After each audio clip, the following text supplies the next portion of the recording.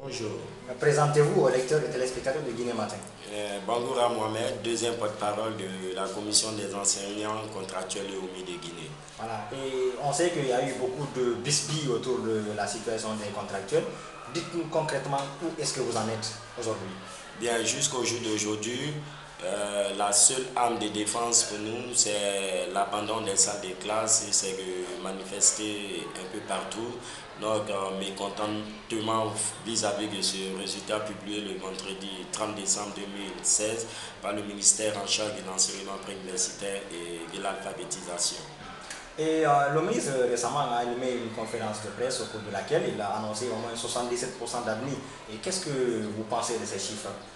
Bien, je suis écœuré et désolé d'entendre ces, chiffres erronés de la part du ministère, de surtout du ministre même de l'enseignement préuniversitaire, selon quoi plus de 77% des enseignants contractuels sur toute l'étendue du territoire étaient déclarés officiellement admis à ce concours. Et je suis désolé de l'entendre dire cela. Donc pour vous, ce n'est pas juste, ce n'est pas ça.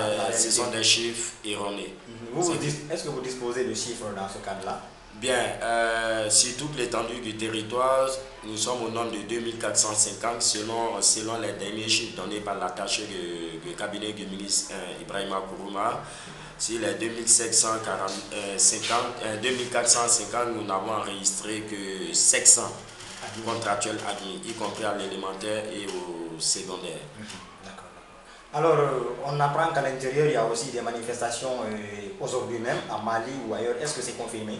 Oui, c'est confirmé. Je viens d'échanger tout à l'heure avec le représentant des enseignants contractuels de la préfecture de Mali MRN. Présentement, ils sont dans l'enceinte même de la préfecture de, de Mali C'est confirmé. Eh, est-ce que le ministère a cherché à vous rencontrer pour chercher à régulariser la situation?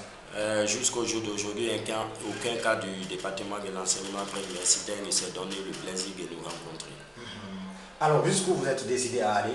Jusqu'à ce que nous obtenions gain de cause. Et gain de cause, là, c'est quoi? Que vous soyez pris alors que déjà, il y en a qui n'ont pas qui ont échoué à l'examen L'intégration pure et simple ou le transfèrement de, des, des, enseignants contractuels non admis au concours dans les fichiers de la fonction publique sans condition.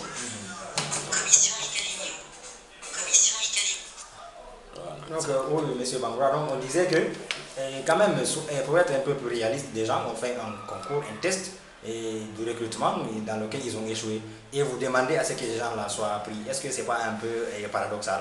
C'est pas paradoxal puisque selon eux, pour être à la fonction publique, il faut respecter la loi. Et nous aussi, nous allons les apprendre à respecter la loi 028, qui voudrait que, euh, même dans les entreprises privées, après trois mois euh, ou six mois de service, pour nécessiter de, de service, euh, l'employé doit pouvoir transférer dans les fichiers de la fonction publique sans condition.